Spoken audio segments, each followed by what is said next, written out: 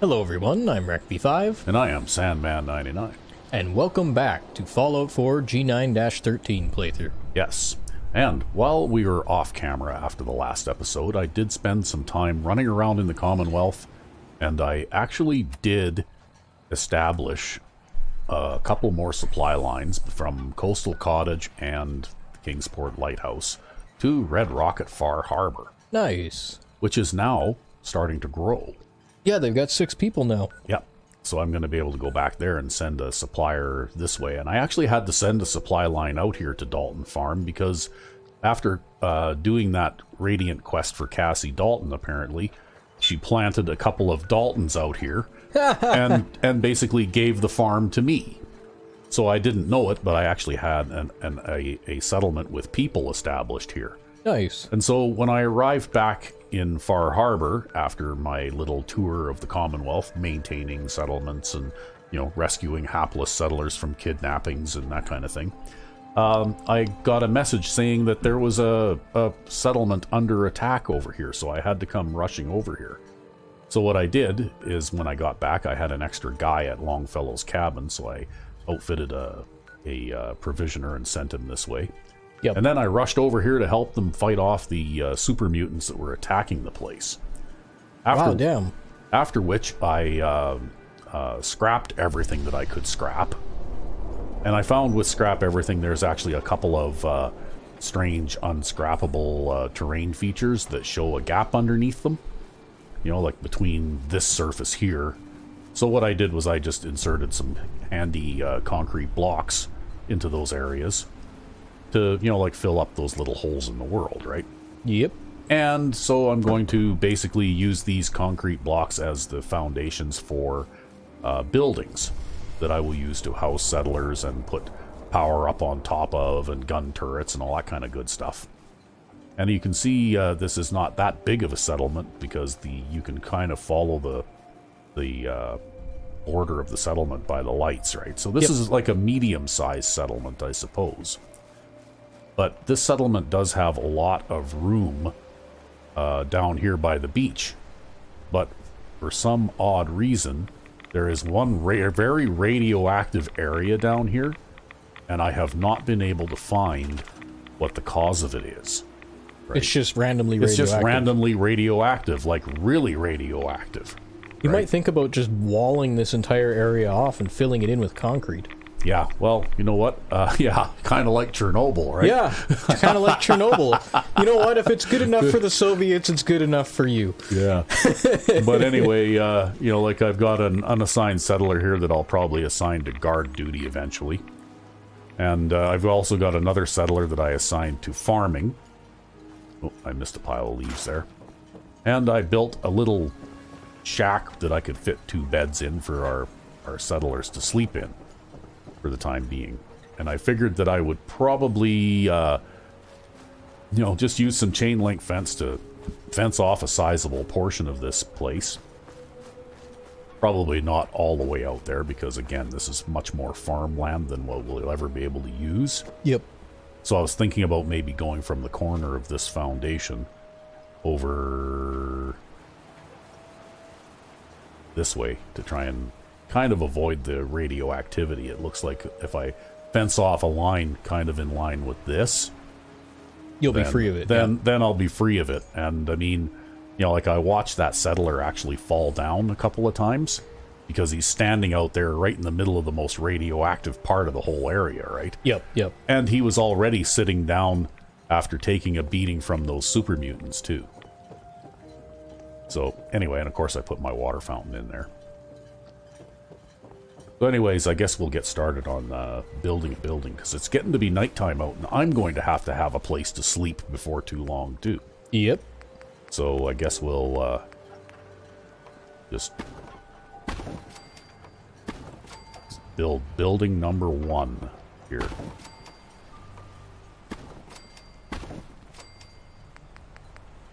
Even got yourself a little entryway there. Yep.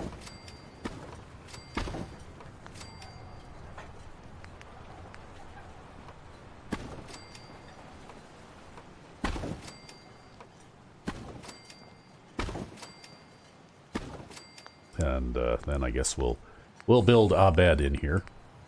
Because this will be like a general uh, barracks area again, I think. Because then I can just jump in that bed and sleep when the mood eventually takes me to. Okay, now what can we do here? Okay, well, we can, uh, we can do what we do to uh, preserve some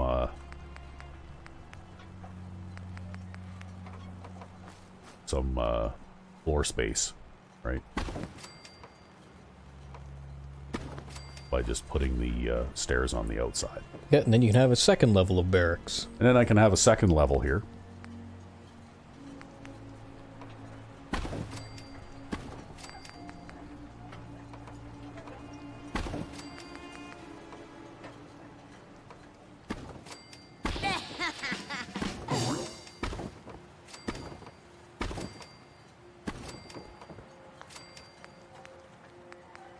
Guess we'll have to Stair up through this area. Yeah, I think we'll probably do it over here though, because those stairs will actually partly block off the entryway if I uh, don't do that. And it's not like I don't have lots of, uh, you know, like space to build a whole bunch of smaller buildings.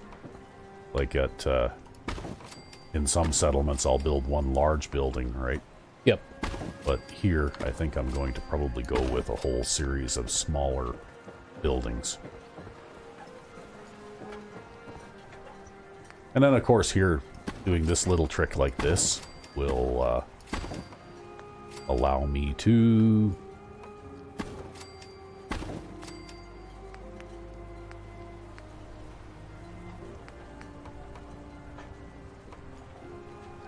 Hmm, come on, turn around. There, see? Because even one of our viewers gave me heck once here recently for uh, not turning stuff around the right way. so, so there. We're gonna turn stuff around the right way. Are you really? Well, as far as you know. Okay. I, I think I already see a couple of things not turned the right way, but I'm not saying anything. Okay, so we can put a nice, like a windmill up here on this nice high vantage point and a couple of gun turrets to shoot down at anything that comes in here. Yep. And uh, this one will probably accommodate, oh, a dozen beds or so, maybe.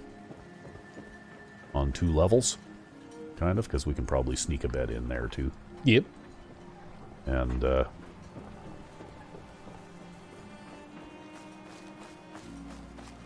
that way, yeah, we could have a bunch of beds on the ground floor there as well. One thing I noticed is that about the settlements in Far Harbor, they generally seem to give you a bigger build area than the uh, uh, some of the vanilla ones did. Right, like you'll notice that my size meter there is still right near the bottom. Yep. But anyway, we'll put in a, a uh, windmill type generator here. Even though I already explained that length why windmill type generators are not practical in the last episode. but anyway.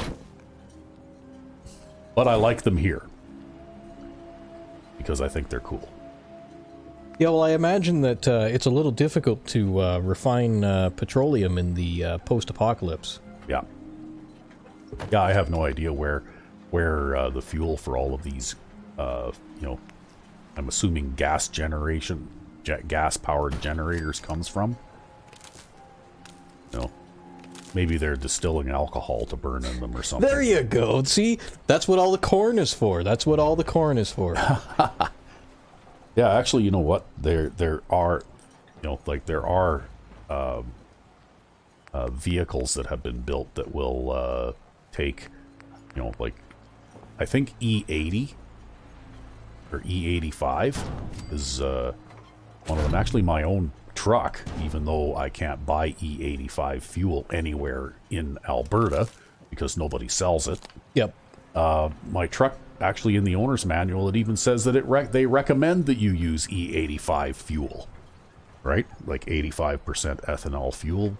Performance reasons? Uh, I don't know why they say that. They just said that. I remember reading that in the owner's manual. Ah. And uh, this was this vehicle was old. It was built in 2007. So You know, like it's not like it's new technology or anything, and I don't understand why, with all of these green or so-called green movements that are going on, why aren't they having a whole bunch of these farmers who are growing harmful tobacco switching over to growing something that's suitable for uh, making alcohol-based fuels? Well, but if we got rid of the tobacco, then uh, how would you get your smokes? Yeah, well, for me that doesn't really that, that doesn't really matter since I don't smoke, so I don't really care. uh, but uh, you know, like I was just doing that as a a for example yeah, yeah, thing, yeah. right? You know, like it's, it's obviously been practical, or at least possible, to make and and you know what? I don't see that as being any more impractical than expecting a bunch of windmills to keep working in below zero conditions in southern Alberta. Like, I really, you know. Well, I couldn't tell you why, because uh, you know, obviously they don't really sell ethanol-based fuels here, right? So no, I mean, I think you can get it some places in the states, but uh, you can't get it here. And who knows? Maybe there's a weather or temperature reason for that. I don't know. I mean, it's alcohol. I mean, when you uh, put gas line deicer into your uh, fuel tank in the wintertime, if you get a little bit of you know, like condensation in your in your fuel lines and stuff. Um, that's that's basically a type of alcohol. Yeah. right? That you're putting in your fuel lines. So I wouldn't think that it would be a problem in the wintertime. Well, and, there you go. You can be our number one hydroponics, uh, underground hydroponics advocate. Oh, will mass build hydroponic farms of, well, of hey. corn in underground concrete buildings and will uh, irrigate it from uh, water from the North Saskatchewan. Well, you know what? I'm not so sure you'd even need to go to that those lengths because they are growing uh, uh pot in a huge greenhouse a few miles south of the city here, right? So, and it's it's like a government funded grow operation Yeah. because of course it's legal here. You can go and buy it at stores just like you would go and buy a case of beer in a Yep, store or whatever, yep. right? Well, there you go. You could You know? replace all the pot with corn. There you go. See, we get to keep our tobacco and we get ethanol fuel. Perfect compromise. Well, anyway, I mean, we're just talking silly here, but just the same, though, it makes me scratch my head sometimes the reasoning behind some of these things because uh, if you had all the vehicles that currently burn gasoline uh, replaced by vehicles that burn even E85, well, suddenly your emissions and stuff are way down, and uh, it wouldn't really, uh, you know, like drastically affect how people live too much. I mean, obviously, the oil and gas industry is still going to take a bit of a hit, which would be bad for us. But, Oh, that would be very bad for us. But For, uh, for, for those of you who don't know, that's basically like the economy up here. yeah. Oh, look at this! I've got four people here already. You need more beds. I need more beds already. And Starlight Drive-In is uh, undergoing a settlement attack. Too. So I guess I better get on it here and build some more beds. I don't think I'm going to make it to Starlight Drive-In though, because that's quite a long ways away. And I uh, somehow just think that they're going to have to fend for themselves. Oh well, I'm sure they'll be fine. Yeah, well, they do have like a defense rating of 300 and something. Like, Quest failed. Defend Starlight Drive-In.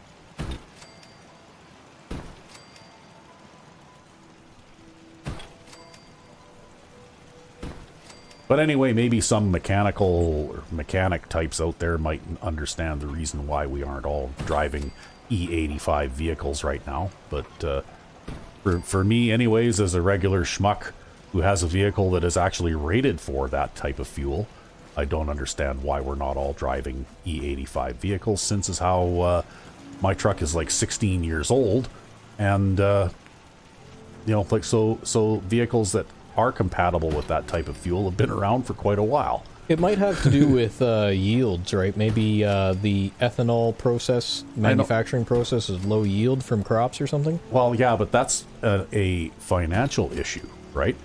And some of these uh, green environmental maniacs uh, appear to be ignoring that particular issue when it comes to all sorts of things, right? Oh, I don't even mean uh, low yield in terms of uh, uh, economics uh, and uh, the price of the fuel or the profitability Yeah. of it or anything. I mean low yield, like maybe uh, you just need more land area.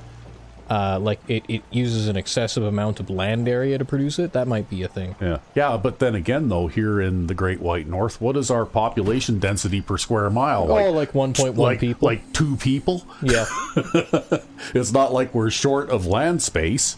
It's just that somebody owns all that land and they obviously don't want to use it for, uh, you know, like growing crops that could possibly uh, make alcohol based fuels, right? Well, and even in the tundra places, I mean, you know, there's still bodies of water up around those areas. You could still build climate-controlled buildings and Hey, farm in if you there. can if you can grow a high grade pot at this latitude where seven months of the year it's like freezing cold winter, I'm pretty sure you could grow crops that you could make uh, alcohol based fuels out of too. you know, like that that kind of logic to me just doesn't fly, right? Ah, well. I don't know. I don't know. I mean, you know, it could just be too like uh, what they say. Like most of the Canadian population is within a couple of miles of the U.S. border, Yeah. and uh, Yeah, and, and the rest of the place is empty. yeah, the rest of the place is entirely empty. I think it's probably because most people don't like the cold, right? Like we're about as far north as most any pop, uh, heavily populated settlement is. Right? Sure, you've got like the territories, and they've got their capital cities and everything, but it's nowhere near as big as us. Yeah. Totally not saying where we live, Yeah. but uh, To- yeah. to- totally. But yeah, like there's there's uh no, no not many places much further north of, of here, and I think that's because uh, uh, not a lot of people want to live this far north.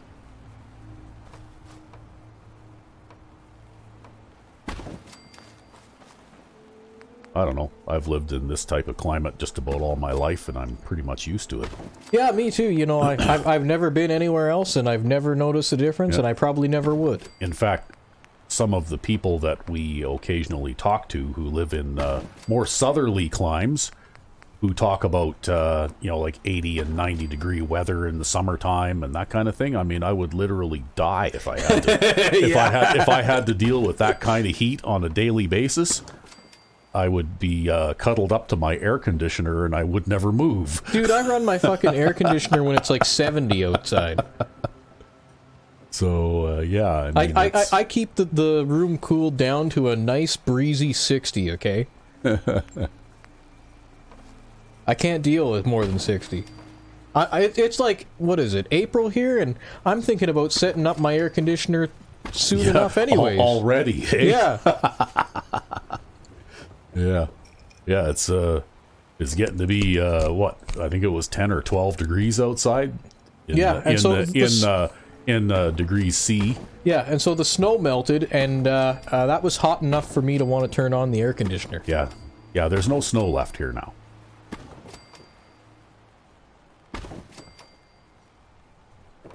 I guess we're just cold blooded. Yeah. Well, you get used to it, right? I guess uh, I suppose you adapt to a certain extent to whatever it is that you're used to. Yep.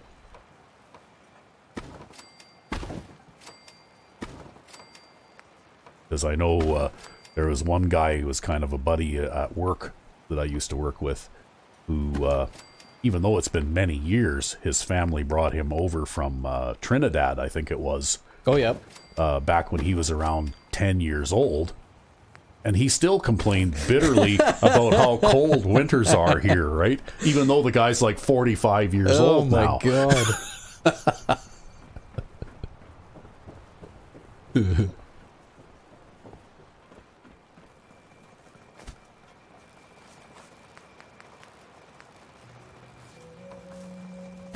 Well, that kind of reminds me of this uh, uh, funny thing that was going on on the internet a few years back, where people were setting up their jeans and leaving them in the out in the snow, Yeah. where they'd freeze and stand straight up, and everybody's making a big deal about it. I'm like, yeah, that'll happen in the cold. Actually, that'll happen when you're wearing Yeah, them that'll in happen some- when you're like like if you stand outside and you're uh, uh, working outside, or if you're even if you're like a, a metropolitan type and you you're like waiting for the bus or waiting for public transit or whatever, your your jeans will still freeze Yeah. and they'll still angle outwards like that. Well, and you know what else? Uh, like I can remember one winter I was fixing a water main break, and it was cold. It was like minus forty, which is by the way, the same as 40 below Fahrenheit. Yep. And uh, when I got out of the ditch and walked over to the little trailer job shack type thing that we had, uh, and I climbed out of my coveralls, which was kind of difficult, but they were frozen so stiff because when you when you're working fixing broken water pipes like Yeah. water mains, like a 10 inch diameter water main that's broken, well, you're you're wet, okay? Yep. There's no two ways about it. You can wear like rubber boots and and uh, all that kind of stuff, but You're still basically you're you're soaking wet from the chest down by the time you're done doing something like that, right? Yep. Yep. And uh, by the, it took me about as long to because it's actually not that cold in the bottom of the ditch because you're below the frost line. Yep. But when you climb up out of the ditch, and I walked about, I don't know, 20 yards from where we were working to the sh- shack. And by the time I got there, my coveralls were frozen stiff enough that I was able to lean them up against the wall. Oh man. so, yeah, I mean, uh,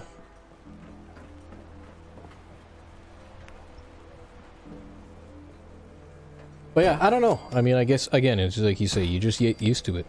yeah, you get used to it living in the in the place where you live, right? And I suppose that if I uh, lived in Trinidad, I'd probably, even if I moved there when I was 10 years old, I'd probably still bitterly complain about how uncomfortably hot it was there all the time. Yeah, right? probably.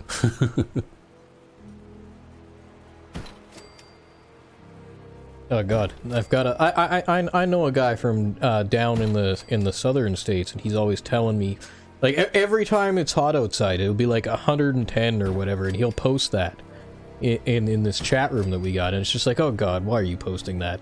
Please Yeah. stop. Yeah. Please stop. Why do you live there? Yeah. you just imagine the fire and the brimstone in that area. Yeah, really. Yeah.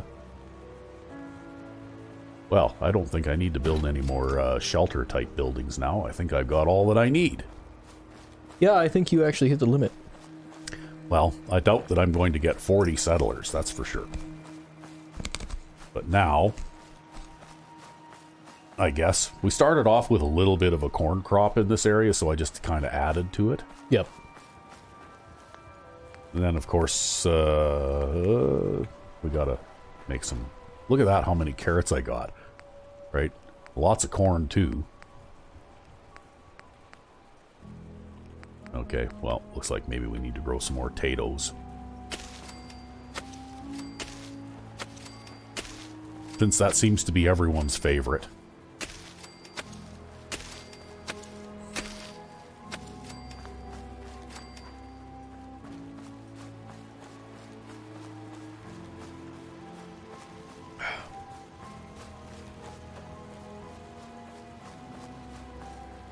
Need to find somebody to farm it.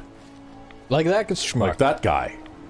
who's still standing out there in the radioactive area. Yeah, well, you know what? We'll get him to move. Because he'll have to move over here to do his farming thing. Watch, he'll walk right back through the radioactive area first. Probably. Okay, so I think what we're going to do is we're just going to build a very simple fence. Oh, wow, look at that. We got one of these things sticking up in the air. I must have did, like, uh, Yeah, taking out the take, lumpy piece taken of out land. the lumpy piece of land that uh, was underneath it, right? So, uh, I guess you can always jam a concrete post or well, something we'll, under we'll, it. we'll, we'll, we'll do this. There. Right. There you go. Then we'll maybe straighten it out a little bit. There, it's all The better. benefits of place anywhere. It's all better now. I actually have it at the uh, Cambridge Red Rocket. I've got one power post, like you know those those power poles that kind of go along the side of the road. Yep. I got one of those that's sticking up about that far off the ground too, and I don't know why. But uh, I usually just put a wooden post underneath it, How weird. just so you don't have it sticking up in the air and looking weird. Anyways, it's time to do a little bit of uh, building of fences. And then we'll be pretty much done with everything we can do for the time being here because I can't actually build any more um, gun turrets or anything like that because I am out of materials. So Not sure which way this gate opens. See? Opens outward. Okay. Looks like it's not hitting the ground or anything though, so it'll be fine.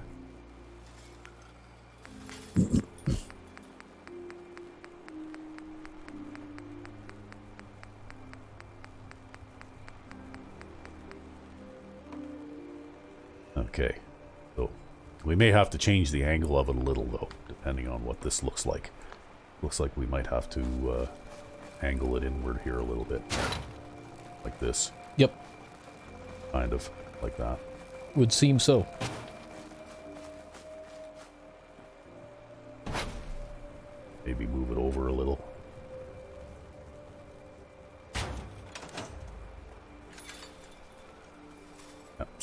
Still okay. Still not hitting the ground. Yeah, and uh, we probably have enough room now to put our corner piece in over here now.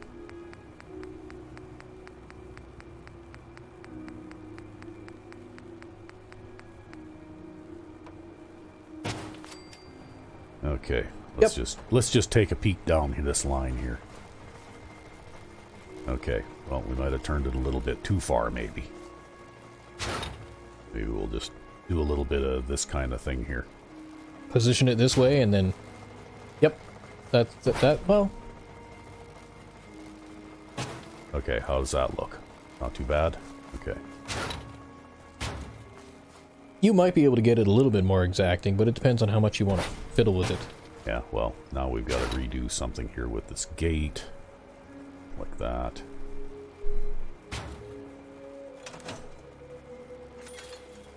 Because we still want our gate to be able to open without clipping into the ground. Oh, look at that. I missed a little bit of stuff there. Okay, and we'll just snap this onto there. And it's kind of up in the air, but we already know the trick for fixing that.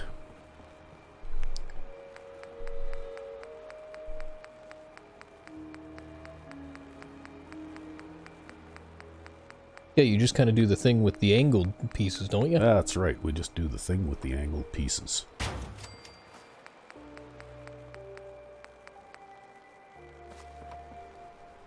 And then we'll uh, store that one and we'll store that.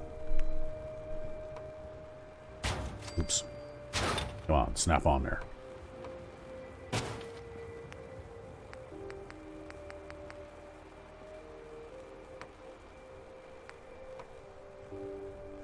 Almost go with that piece there again, hey? Yep. Well, okay. It'll do.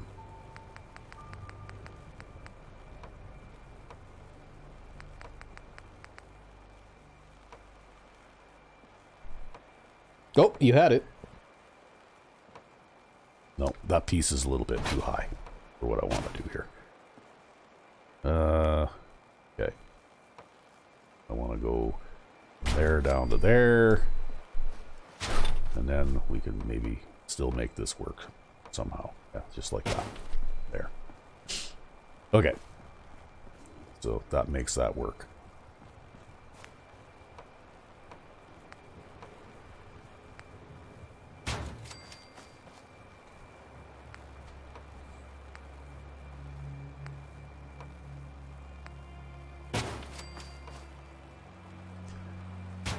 Can't really see the end of that to see what it's doing.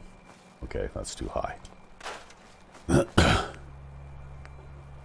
Yeah, it's kind of hard to see through the uh, the brush here. Yeah, because occasionally you get stuff like this that's not scrappable. You know, not too often, but once in a while. Yep.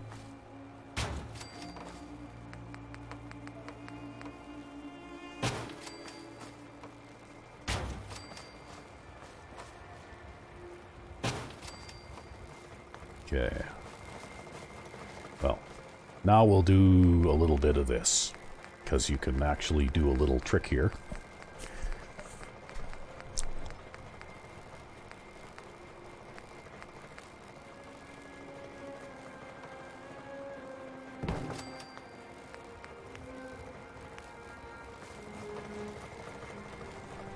Just like that. Oh, okay, so you're able to angle the. Well, uh, yeah, because there. this is a curved junk fence piece. Yep, yep. So uh, what we can do is we can more or less follow this uh, uh, Very angular. this border along here because uh, they didn't bother to make nice rectangular build areas that are easy to build in. So it is sometimes a bit of a challenge to uh, figure out exactly how you're going to build in some of this stuff, right? Yeah, I guess they couldn't afford survey instruments.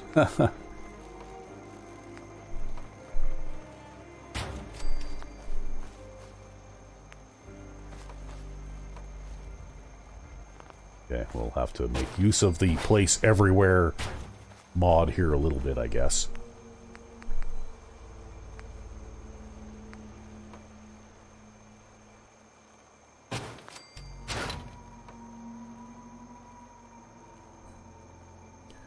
Okay, maybe we'll see if we can get away with a straight piece here.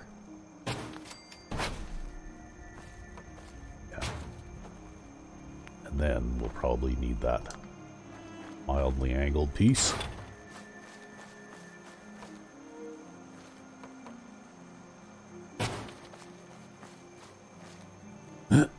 okay, so let's see if we can uh, maybe sneak another one of these ones in here too.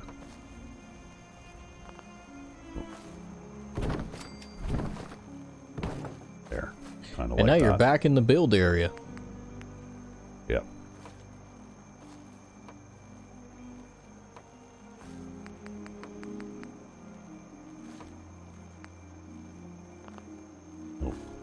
Guess not quite for that piece. But the next piece will be. The next piece will be.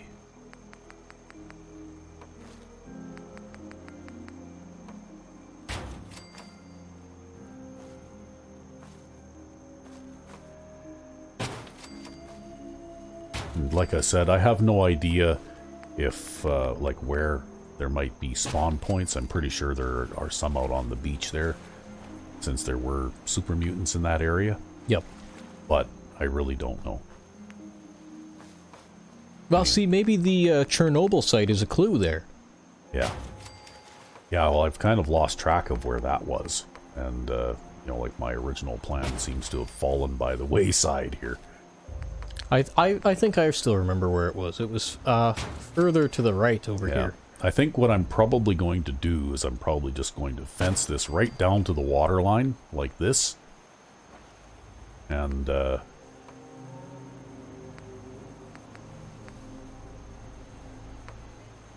Yeah.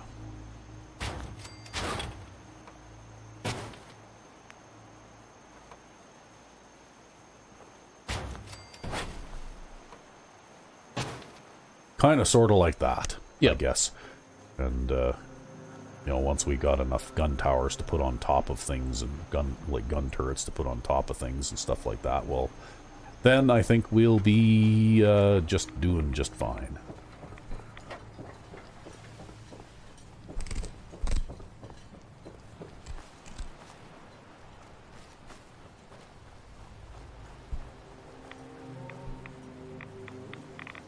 Yeah, There you like go. You really, found it. Yeah, I found it. It's about And- where and this moron- Yeah, it's about where this guy's standing. Hey, buddy, you're glowing a little bit. You might want to move a couple steps to the side. yeah. Well, maybe what we'll do is we'll we'll give him a a guard post just to to uh, guard here. Right. We'll. Uh,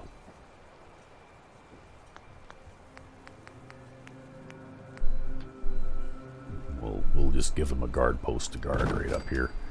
And uh, we'll also give the other guy a guard post too. Because I think we got two guys left here that don't have jobs, right? Yo, they seem to love standing in that radioactive area too. Yeah, it's funny. There must be uh, something there that I can't see, like some buried uh, disposal barrels or something like that, right? Yep. But anyway, that will give us a couple of guard posts. And uh, we got power going on here. And then down to here. And maybe we'll uh, work on getting a little bit of power.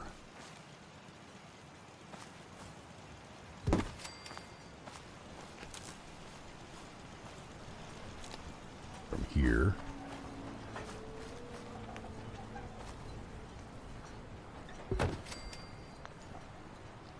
These big ass power pylons. Yep. Well, now I'm gonna have to move my water fountain. Yeah, just throw it on the outside. Yeah, There you go. we'll throw it on the outside, just uh, right. It's a tall water fountain. Oh, you know what? We'll just put it over here.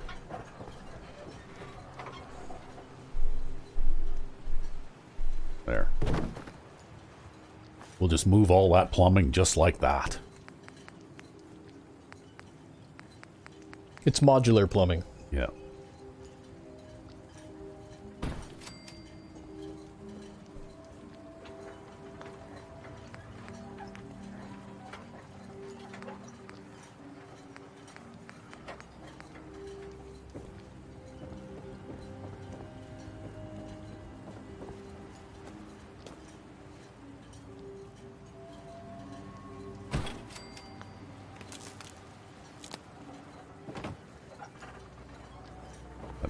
Under there.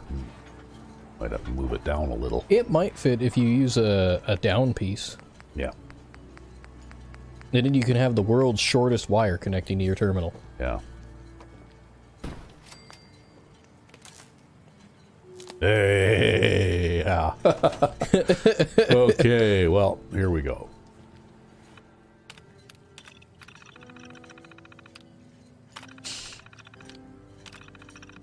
Of course, for some reason, even if you assign two guys to defense, it will only assign one. Then you'll have to. Uh, So then you got to go back in and you got to assign the last guy. There always seems to be like if you have three and you tell it to assign three, it'll only assign two. yeah, it's like an off and- by one bug. Yeah, it's an off by one bug or something, right? But now, we look at the vocational overview. We've got two farmers and two guards. So we're good to go. And that will help our defense since for some reason we can't seem to build very many gun turrets right now.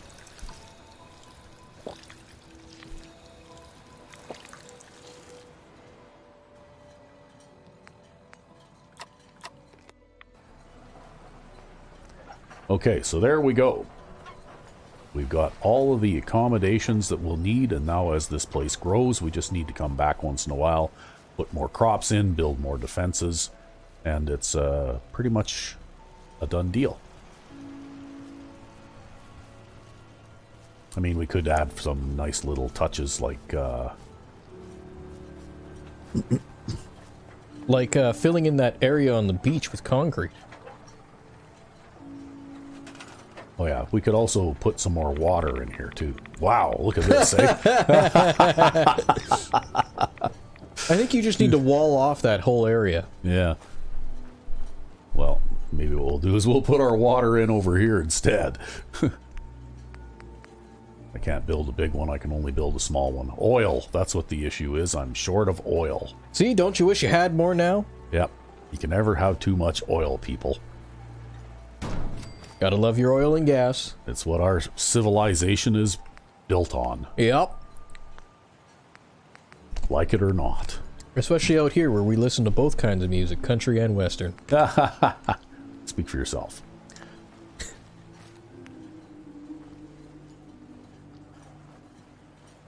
anyway, I guess we'll maybe uh I know what we'll do. We'll be we'll be fancy about that.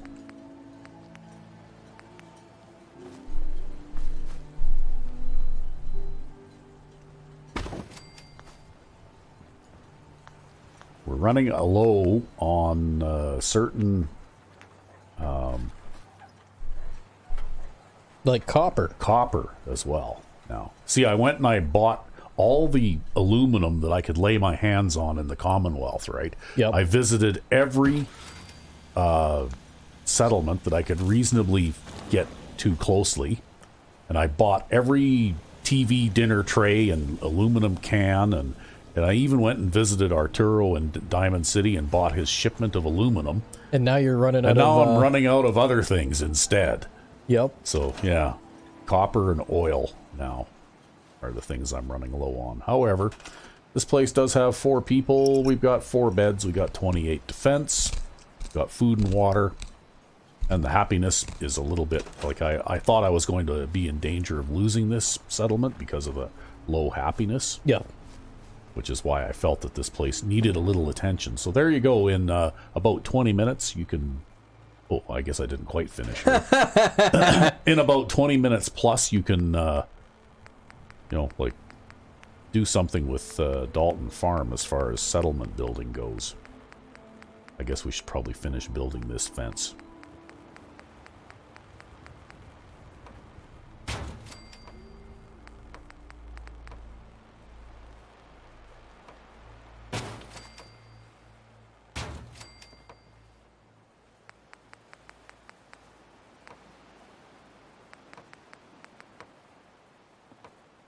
Yeah, now you gotta go back up because there's a little ditch there, huh? Yep. But that's okay. These these things are very well suited toward that kind of stuff, so you know. I actually like the chain link fencing thing quite a bit. It's one of my favorite mods. Well, it makes it a lot easier to, to work with the weird-ass contours of some of these settlements. Well, the thing is too is that I really uh, do like building settlements. I know I haven't done that much of it in this series up until this point, Yep. but that is actually one of my favorite things to do. I'll spend hours and hours and hours. Okay, sure, I'll put it like that. I'll spend hours and hours and hours building settlements and stuff like that, right? Yep. Like, it's one of my favorite things to do. So there we go. Now we have a walled off settlement. And you'll come back and fix the Chernobyl problem next time. Wow, look at all that stuff that I missed. Piles of leaves.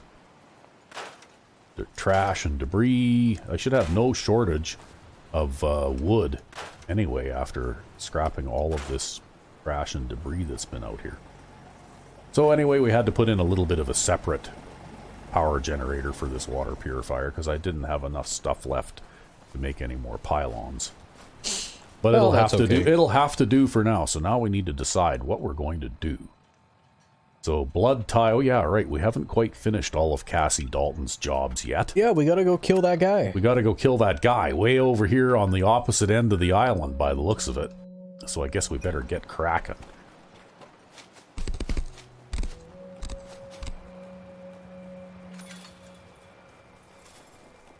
Oh, okay. Now we got a settlement attack going on at Green Top Nursery as well. Uh-oh. Huh. Hey there, buddy.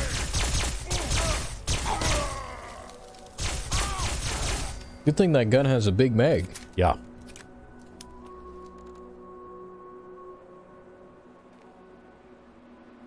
And look at that, you even got yourself an autosave. Yeah. Hmm. I can't I can't loot that brush pile, but or that ash pile. See, I got you talking about brush, and now you're all fucked up. Yeah. Oh well. Yeah. Yeah, I like this gun actually. It's got fairly like uh, it's a semi-automatic, but it, you can notice that the fire rate is pretty good, right? Yep. Like it'll it'll fire pretty much as fast as I can pull the trigger. And uh you know, it has a bit of a slow projectile speed, kind of like a plasma gun Yep. but uh, it does a lot of damage. It's pretty good for close range engagements, right?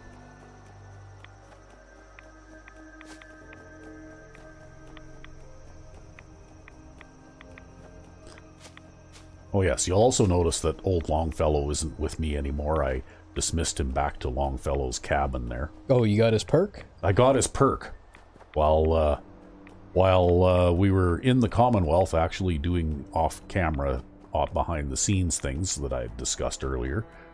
Uh, we had the uh, the the talk, you know, where he told me that I was worth worth actually teaching something to, and all that kind of stuff. And uh, then he, I got his perk, and I think it's like a a pretty good one too. I get uh, I get for this. Uh, I can even remember what it was called now, but I think it basically I ignore 25% of armor for animals and and uh, bugs or something. which is definitely worth it. Only you could find it. Well, if I could remember what it was called now, right? Ah, well. Uh, Hunter's Wisdom, there we go. So, the damage resistance and energy resistance of animals and sea creatures is reduced by 25%. So that is an actual tangible benefit, right? Yep. Especially because some of the bigger, nastier uh, um, Mirelurk type creatures in this place are like bigger and nastier, right? Yep.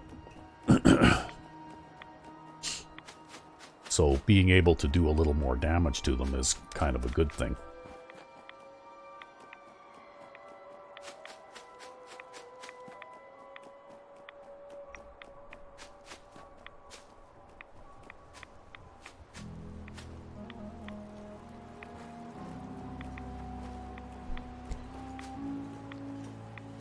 Oh yeah, I think I was gonna... Was it here I was gonna stop? No, it was uh, at the Red Rocket that I was gonna stop. Yep.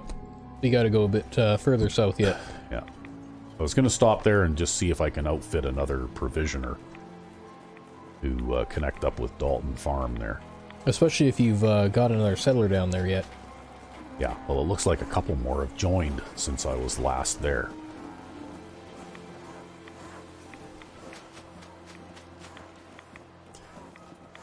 And you'd be surprised at how well a couple, half a dozen or so uh, provisioners that are well armed can keep the peace.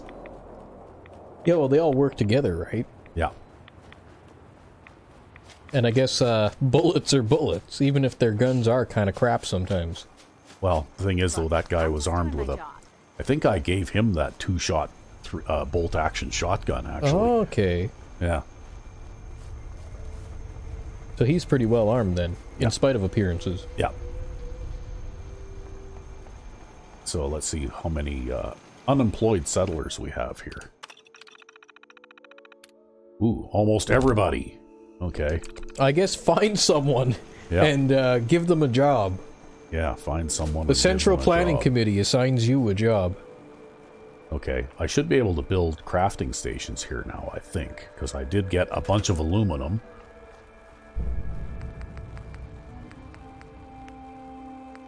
Needs copper. oh, don't need any copper to build an armor workbench, so we'll build one of those here. And we can build a chemistry station.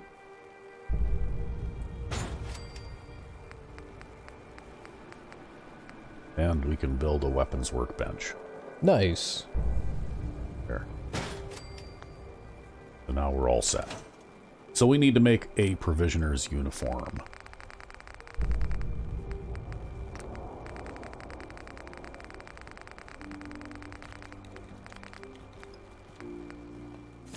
So you even need aluminum to make police hats. Oh, for the little badge For the little badge on the front, yeah. yeah. Now, I wonder what kind of weapons I have stored in the workbench here. Nothing. What kind of weapons do I have on me? Probably nothing extra, because I think I've already pretty much... Yeah, okay, I got a handmade... What's this? Oh, look! You can make uh, wrench weapons. Huh. That looks like a pretty damaging weapon, too, for a 5 8 wrench. Because uh, a 5 8 wrench is actually only just a uh, middle-sized wrench. eh? Yep. Yep. If I wanted to hit somebody with something, I think I'd probably choose something closer to a 1-inch wrench. because a 5 eighths wrench is, uh, I don't know, maybe 6 or 8 inches long, and it Yeah. weighs and it weighs a few ounces.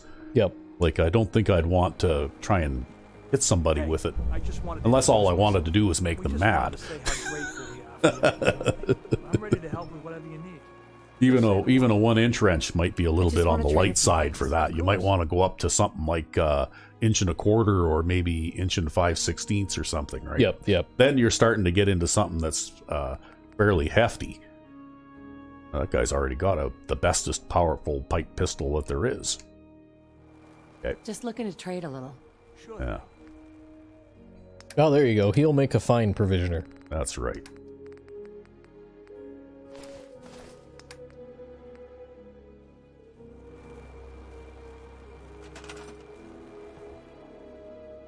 Okay, Dalton Farm.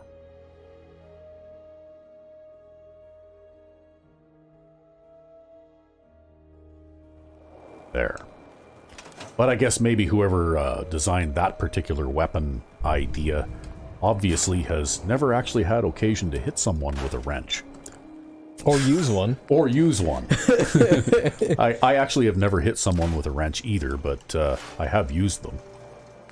And uh, Yeah, well, that used to be a really big part of what you used to do, ain't it? yeah, that's why I say if I if I was mad enough that I wanted to hit somebody with a wrench, I think I'd probably choose one of the not one of the ones you'd find in a toolbox drawer. I'd pick one that hangs on a peg on the wall.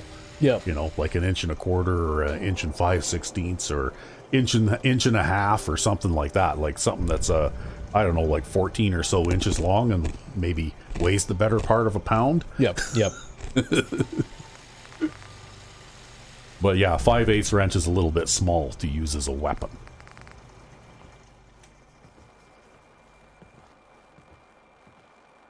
ah, well, you know, computer programmers and all, right? Yeah. Yeah, actually, the the keyboard for your computer would probably be a more effective, heftier weapon than a 5 eighths wrench, actually. Although it might break if you were to hit someone with it. I'm pretty sure all the keys would pop off after the first hit. Yeah, probably. Course, you could do like that Swedish guy that you used to watch every now and then, where uh, through clever use of a couple of uh, they look he it looked like he had around one inch wrenches there, Yep. and uh, through clever use of a short length of chain, he was actually able to turn two wrenches and a piece of chain into a set of nunchucks. Yeah, well, he he uh, uh, is the guy. He, he's from Sweden, but he lives in Canada, and uh, he was making fun of the weapon laws here because it's like you know this these two wrenches, uh, when not attached by a chain, they're perfectly legal items to have. But if you attach them by a chain, they become illegal nunchucks. Yeah.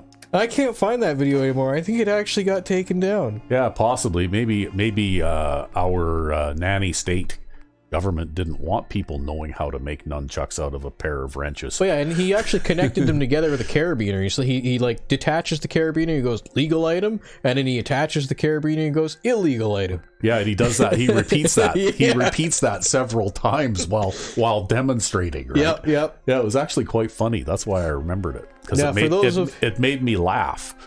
For those of you who wonder who we're talking about, I think his name is Skallagrim, and he does like the medieval sword thing Yeah, and a lot of that kind of stuff. yeah. I actually uh, even learned a little bit about how people actually use swords for real too, and they didn't use them the way they do in the movies.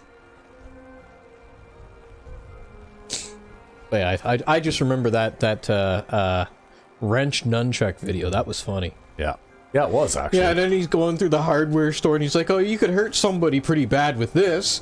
Picks up like a hammer. Well, he picks up a blacksmith hammer, right? Yep, yep. Which is about the same height, size and heft of, you know, like say uh, a mace that a medieval knight might have carried, right?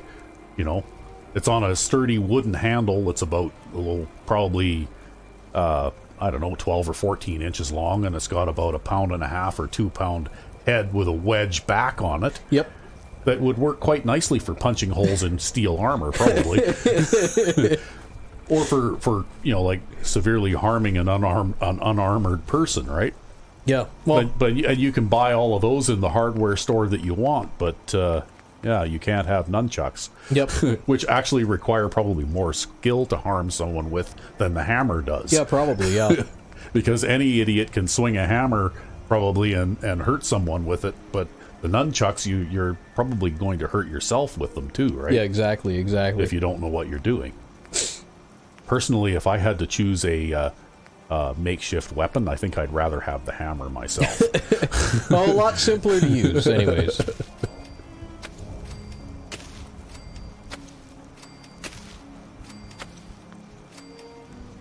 anyway, we've been getting distracted a lot here while we're uh, playing the game here and doing a bunch of uh, silly chatting and that kind of thing.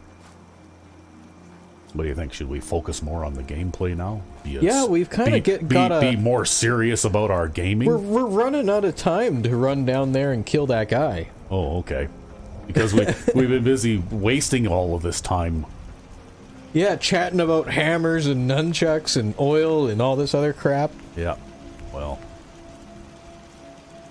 what can you do? I'm in one of those funny moods today where, uh, you know, like the irony of some of these things is not lost on me, right? Yep.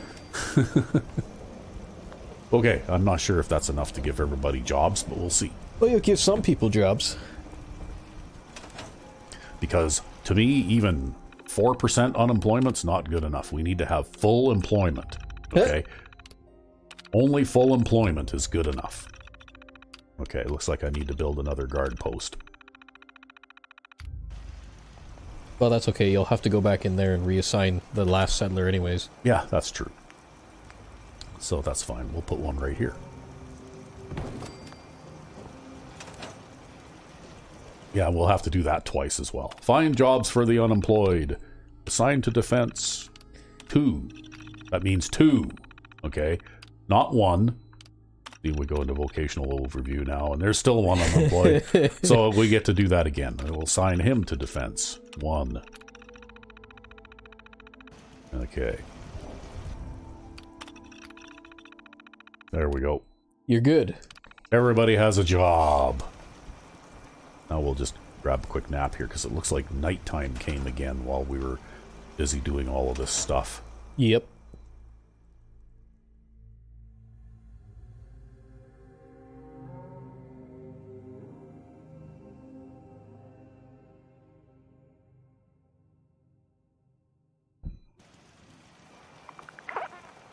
Well, I failed to help Starlight Drive-In.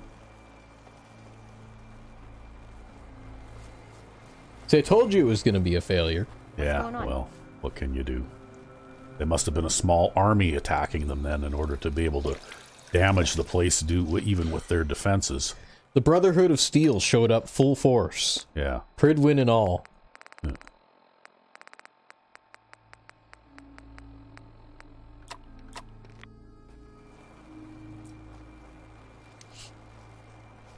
Yes, on another topic, I started watching the Fallout TV show last night. Oh, yeah. Yes, it was quite good, actually. I liked it. Nice. Yeah.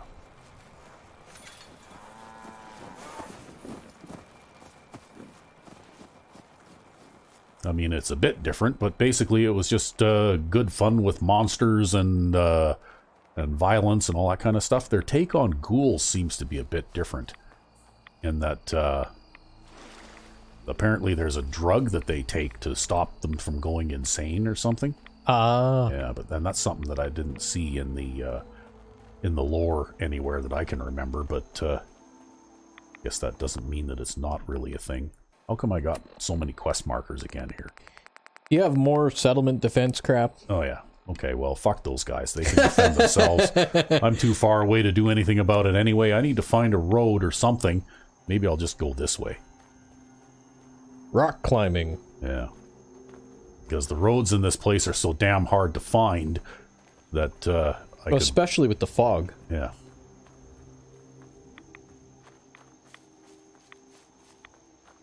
Oh, here we are at the water. Is this the road? This is the road. Here we go. Oh, well, there you go. Okay, I just found the road.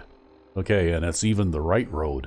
And the right direction. Yeah, so if I follow this road for a really long ways down here, eventually I'll get to this place. Well, I guess you better get sprinting. Yeah, except that it's hard to sprint in here too because the road's so broken up.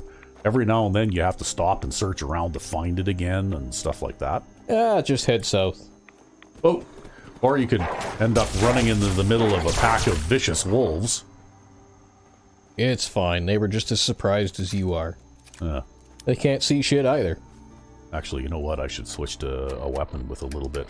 If I have to shoot things that are like that, that are basically pests, I shouldn't be using one of my best weapons on them. Um, maybe we'll use this. I bought Wastelander's Friend while I was in uh, um, the Commonwealth too, because I was looking at my gunslinger perks, and I'm nearly up there. But in here it says that you may have a chance to cripple a limb.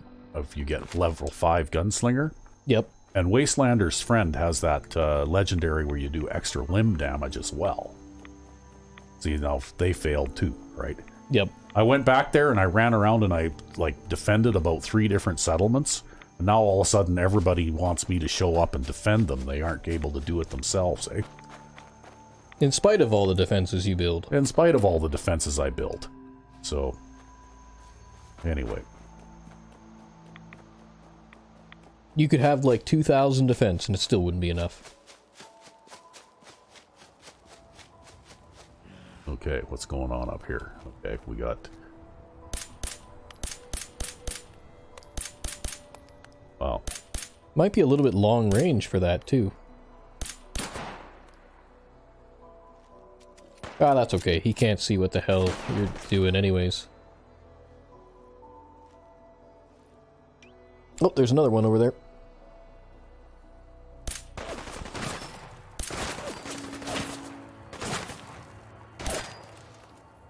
See, these guys don't see shit. They're just shooting out into the fog for no reason. Well, I guess not no reason. I mean, I guess you are shooting them, but, uh...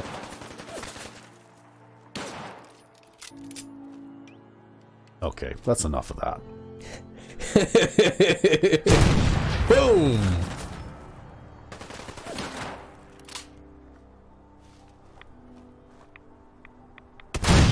Oh, wow, something blew up over there, too. I guess there was a car or something. yeah.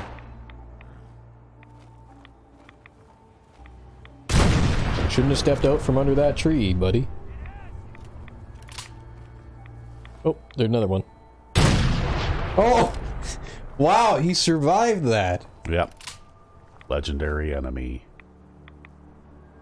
I,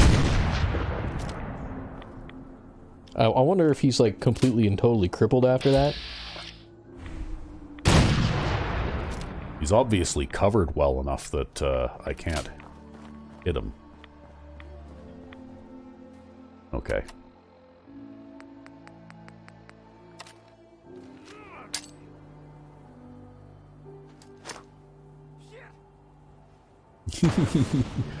Oh, there you go. That's one way to drive them out of cover. yeah, drop a grenade in there. That'll make them bolt pretty quickly. Yep. Quick draw switchblade. Oh, wow, that's a useful weapon, hey?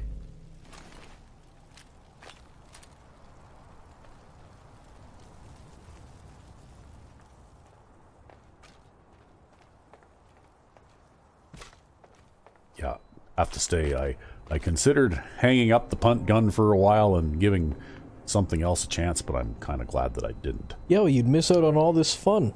Yeah. With the bodies flying everywhere and you know, it's just it's just too much fun. I like the punt gun.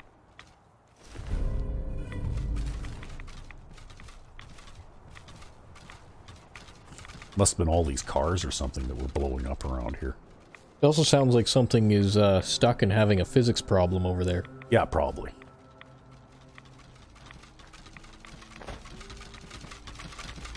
Yeah, that skeleton in that cage there.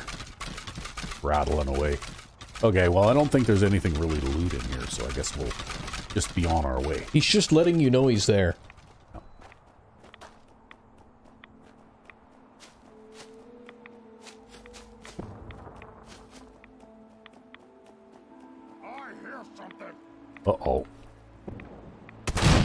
Lucky for me that you decided to announce your presence. Yeah, really.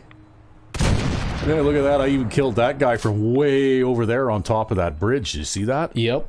Wow.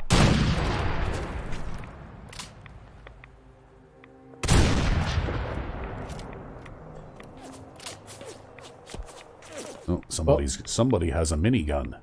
Yeah, there are bullets coming from somewhere. Yeah, he's too far away though. Even with the reduced spread, he's far enough away that uh, none of those bullets could actually hit me. Yeah, none of them came even close. Right, he was at extreme range for a uh, minigun. Yep.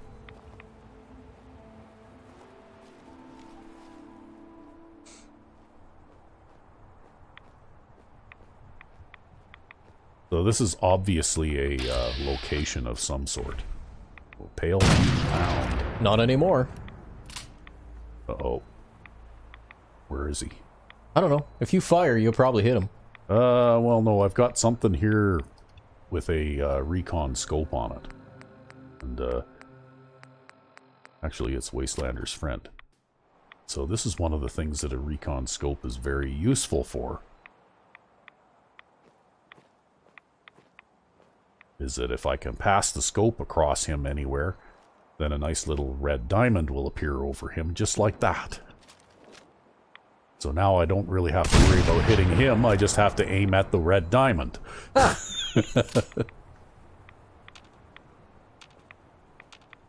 and then that will be it for him. Okay, well, I'm not going to get in there and and uh, really get too involved with what's going on in there because I'm really have other things to do. But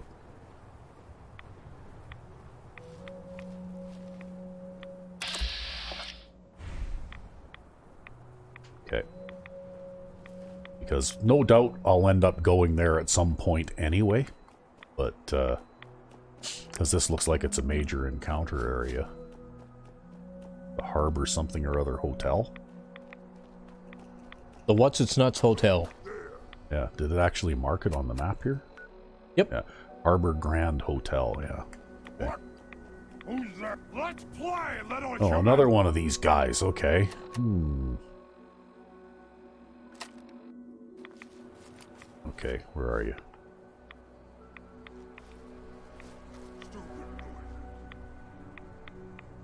Are they up top? Yeah, they might be up top or something, right? That might be why he's not already in my face, because uh, the Nightkin are... Scream! Oh, there you are. Scream for mercy! I think you need something a little punchier.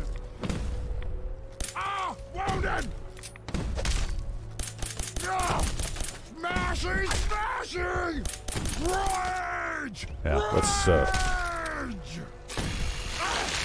Let's deal with the problem the right way. Yeah. we'll just cut him up into little pieces. There.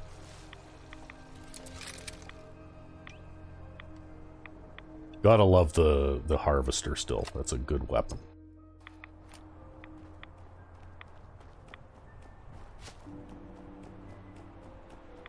Yeah, now you gotta go west for some ways before you turn south again. Yeah, I think the road kind of winds back and forth a little bit here. Yeah. Oh, look, we're going to come up on another red rocket here right away. Nice. Right there, as a matter of fact.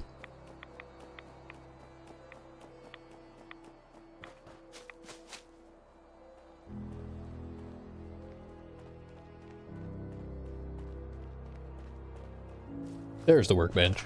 Yeah, there's the workbench. We'll scrap one or two things here.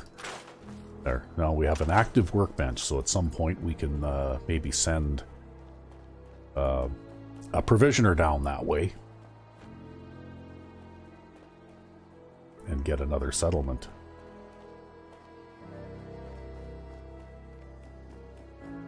Because that's one thing I think that the vanilla uh, DLC areas, both Far Harbor and Nuka World, were both lacking. Is it would have been nice if they'd have put a few more settlements in, right? Well, especially given how big the area is. Yeah. Because I think in Far Harbor, I think all you get is like four vanilla settlements, something like that, right? You get Dalton Farm, and then somewhere in this area here, there's another one. And then there's one over here, kind of. And then, uh, uh, of course, uh, um, Longfellow's cabin, right? Yep, yep. So I think you only get like four settlements or something, vanilla. It looks like there's no road connecting across there, so I'm going to have to, uh, You're gonna have to swim it. I'm going to have to swim it.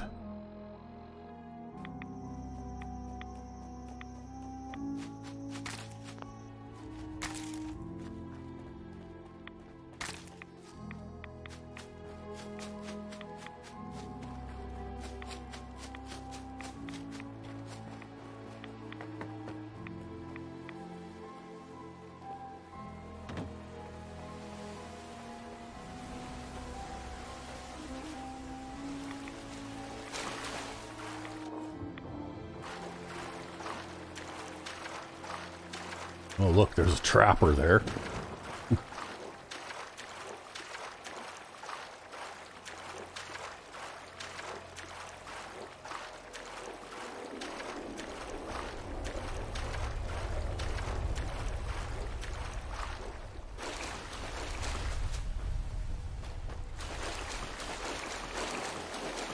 now we just have to find some way up this bank.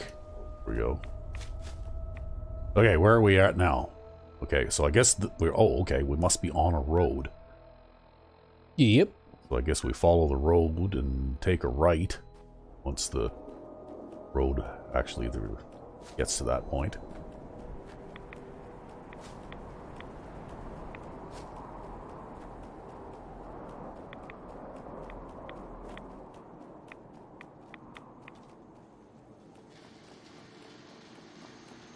I guess this will be the right. Uh-oh, what was that? Thing that wants to kill you somewhere. Was it more on your right? No, I don't know. It's the fog. Oh, okay. There's a trapper hiding in the bush somewhere. Oh, well. Yeah, you're only around to kill one specific trapper. The rest aren't your problem. Well, I'm not going to spend a lot of time searching for him since I'm trying to actually get somewhere specific, right? Just be like, not in my job description. You hired me to kill a specific guy, not not everybody. Just this one guy. Okay, well, we must be getting close now.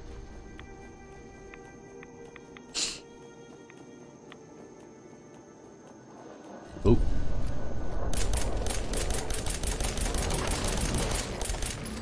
Did it spit something at me? Yep, and it went right over your head. Oh. So it missed. Uh-oh. Now what? Oh, okay. I hear shooting. Yeah, it sounds like there's a firefight up ahead. Okay, well, we need to have a drink of water now.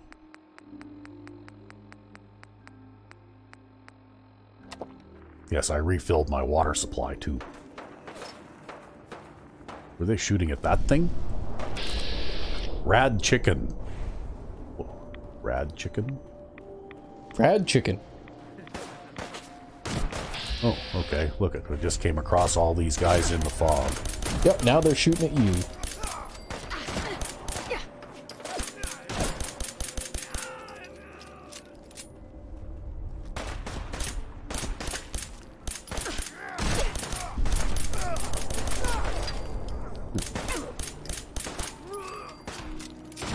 On your left there.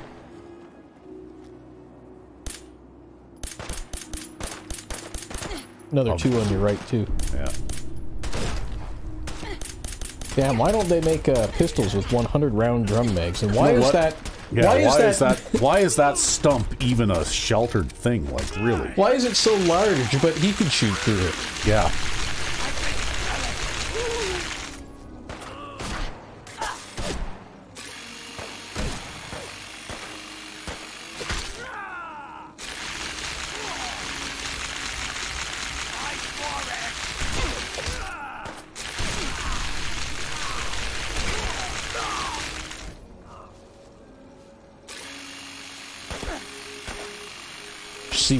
Person running at you with a chainsaw.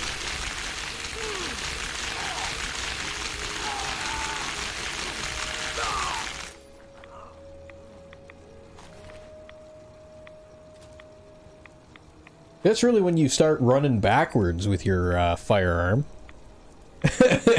Yeah.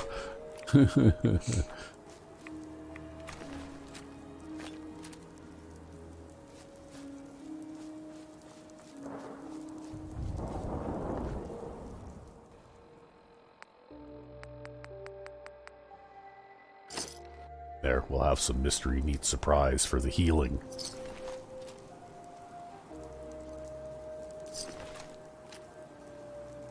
Yo, you actually uh, got a little beat up there. Yeah, nothing too serious though. Like I said, I'm I'm heavily enough armored now that uh, it's pretty hard to hurt me. Yo, it's mostly just the volume of guys. Yeah. It's just like this massive army of guys. I guess this is why it's the right place, or close enough to the right place. Yeah.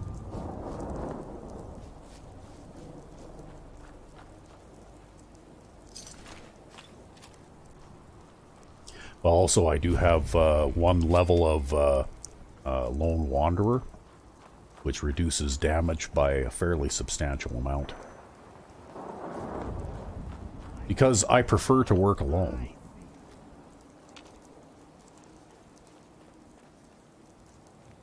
And the only time I really ever bother with a uh, a companion is if I need them for a specific storyline or uh, if I want to get their perk and I don't have some cheaty way to get it without having to have them with me. Yep. well, because they get you killed. Yeah.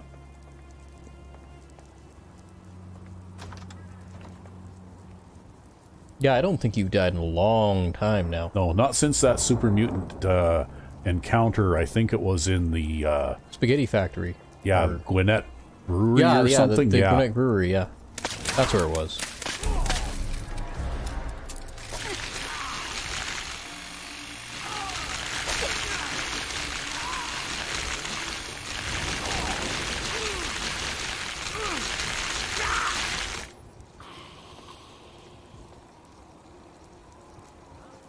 Nope, you can't loot him. Yeah. Oh, yeah, you, there you go. Cavaliers Ripper. Take. Oh, look! I've actually found a randomly generated uh, legendary Ripper. You know, Nice. you know how rare that is. In all the years that I played this game, I think this just might be the first time. Really? Yeah. Of course, taking 15% less damage while blocking or sprinting, well, you know. That doesn't really matter. Yeah, it's not really a thing, I don't think, but you know, personally I would have rather had something like this that does the stagger effect or like some of the custom ones that I built, right? Where uh, they actually uh, like the custom one I built was sort of like the a furious weapon Yep. that uh, the more hits that you uh, ra- ra- rapidly land, the more damage it does, Yep. Yep. Which is actually a pretty good one for a Ripper because of the high rate of attack, right? Yep. Is there anybody? Yeah, there is somebody else around here somewhere. Where are you? Oh, there's a gun turret around here somewhere, too.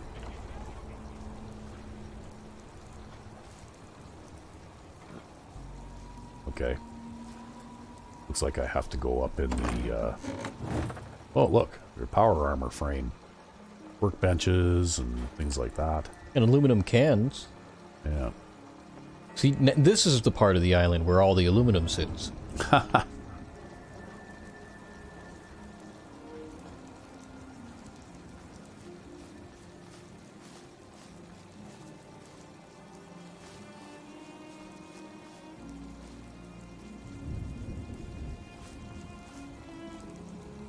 Well, it looks like I've kind of circled around here a bit.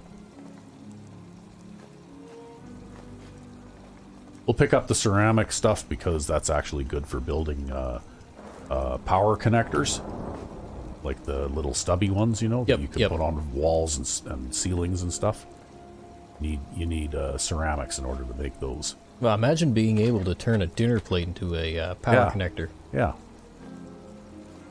Well, it's just like being able to build a ten foot section of shack wall out of a couple of tin cans and a and a you know like wooden broom or something, right? Yep, yep.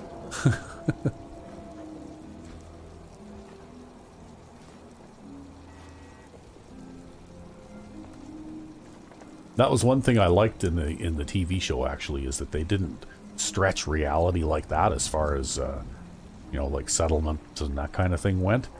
Like the settlements that they had in there definitely looked like they'd been pieced together out of uh, you know like scraps and junks and stuff, but it wasn't like uh, you know to the level where you could build things out of things that you would not imagine you could possibly use as building materials, right? Yep.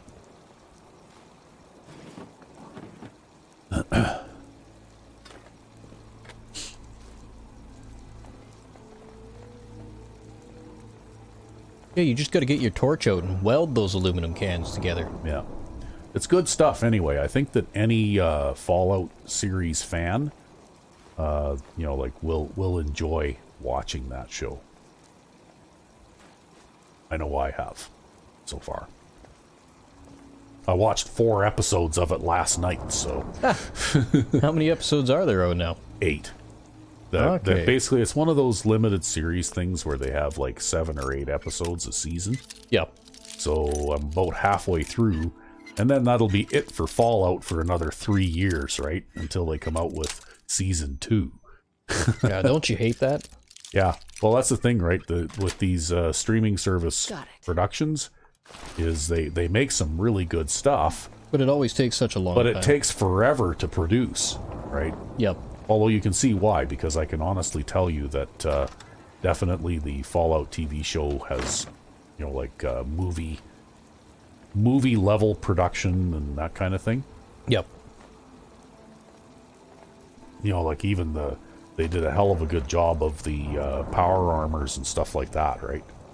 Like the the the uh, Brotherhood of Steel guys in the in the T sixty power armors. Well, they look just like the they would in this game, wearing a set of T sixty power armor, right? Nice.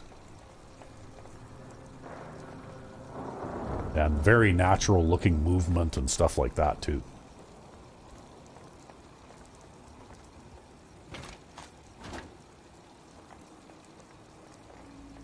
This is a pretty big house. What's left of it.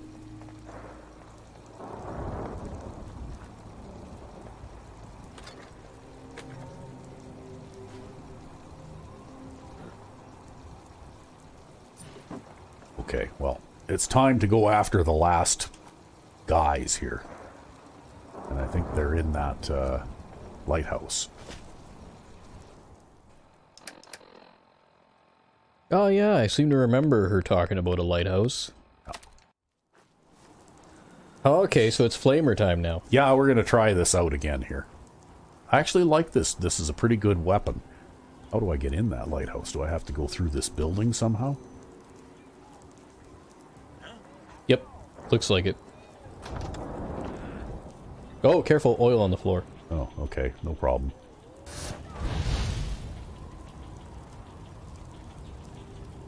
Yeah, not a good idea to use a flamer when you're standing on a floor covered in oil. Why not? Cause you'd ignite.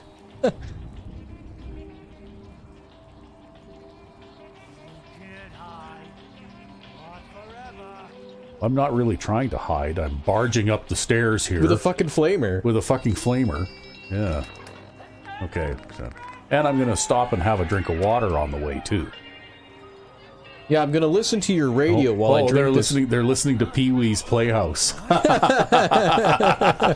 That's one of the modded radio stations that I have. Yep. I'm not sure whether we'll get a copyright notice because of that or not, or maybe it's not uh, like, uh, you know, like it, maybe it, it's not easy enough to hear to rate a uh, copyright notice. I don't know.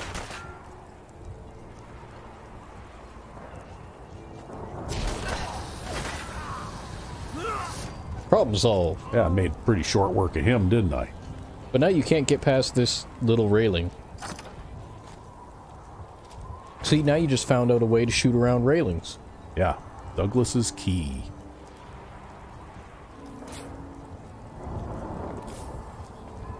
Mysterious holotape. Okay, we'll take the mysterious holotape. What does the mysterious holotape say?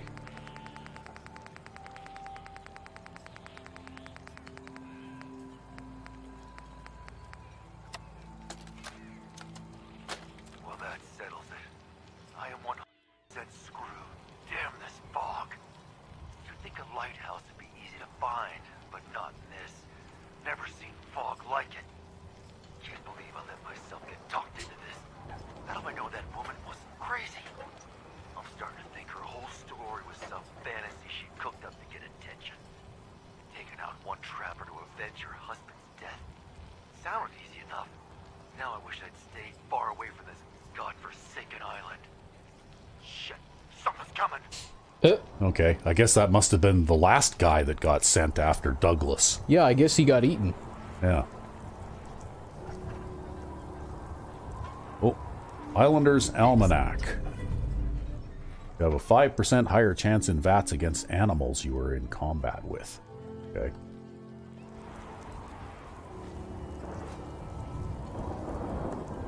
So I found two of the Islanders Almanacs now. Well, it'll build up in usefulness.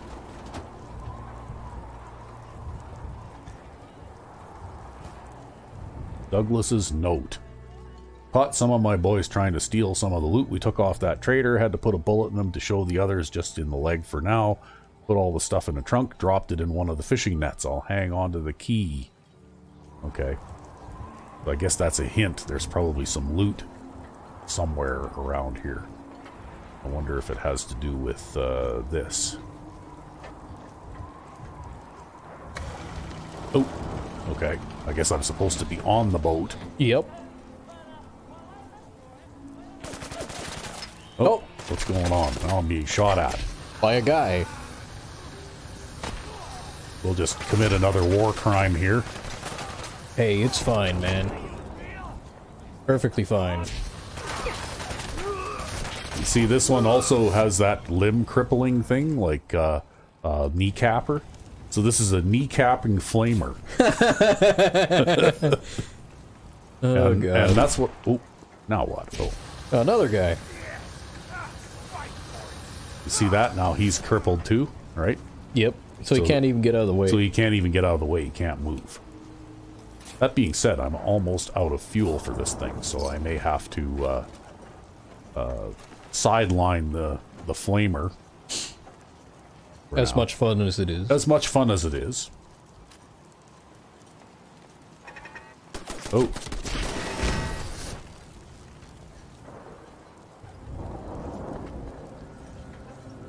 Oh. Dead rad rabbit. Okay.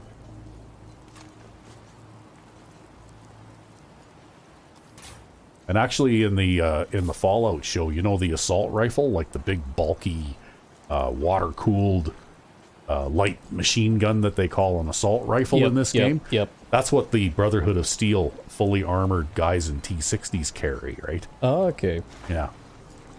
And they look just like they do in the game, too.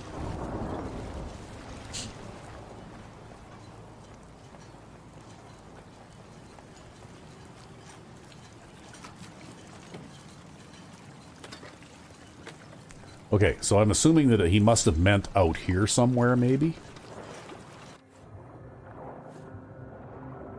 That he hid some kind of treasure or something?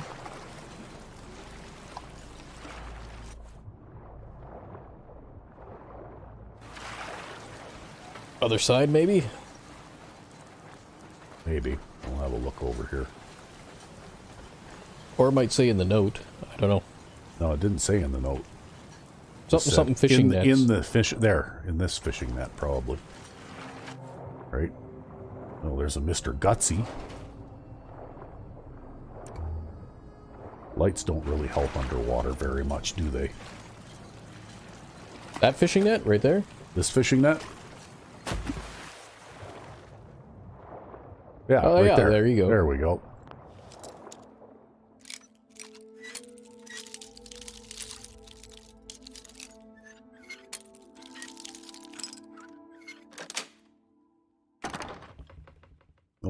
Well, it had some pretty typical uh, loot type stuff in it. Well, anyway, we've been having fun here, but we must be well over our usual allotted time. Actually, we're only coming up to an hour and a half, so you managed to do it in time. Okay. Well, anyway, I guess we should probably call it an episode for now. And uh, I'll probably make the long trip back to Cassie Dalton off camera, maybe, and uh, maybe not, though. And I guess we'll decide that next time. Alrighty. Until then, I'm RecV5. and I am Sandman99. Have a good one.